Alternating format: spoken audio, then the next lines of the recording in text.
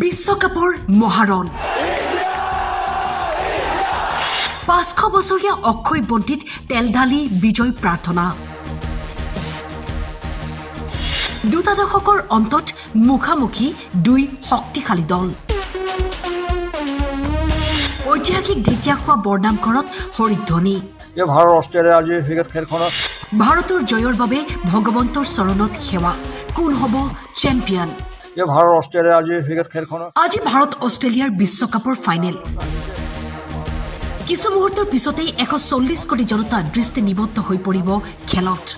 তাৰে মাজত উজনিৰ ঐতিহাসিক ঢেকীয়াখোৱা বৰনামঘৰৰ ভকত বৈষ্ণৱে মহাপুৰুষ মাধৱদেৱৰ দ্বাৰা প্ৰজ্বলিত পাঁচশ বছৰীয়া অক্ষয় বন্তিত তেল দি ধূপ ধূনা জ্বলাই ভগৱন্তৰ চৰণত হৰিধ্বনি দি সেৱা লৈছে। খেলখনত ফাইনেল খেল সেই উদ্দেশ্য কৰি তাৰ সময়ত আহিছে।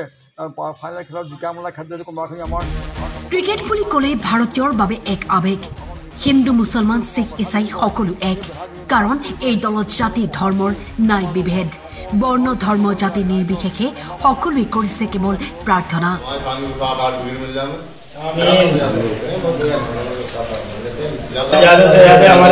এয়া মহম্মদ স্বামীৰ গাঁও আমৰোহাৰ পৰা আহি পৰা দৃশ্য। এইবাৰ চাওক কেনেদৰে ষ্টেডিয়ামৰ বাহিৰত ভিৰ দৰ্শকৰ।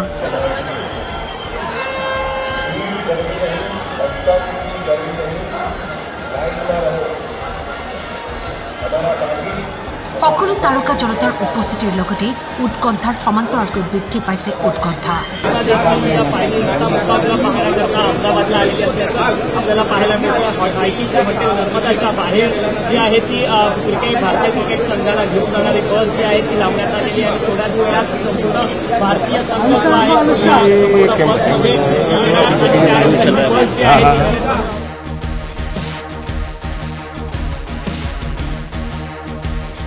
টিয়কৰ পৰা শান্তি বৰাৰ ৰিপৰ্ট এইট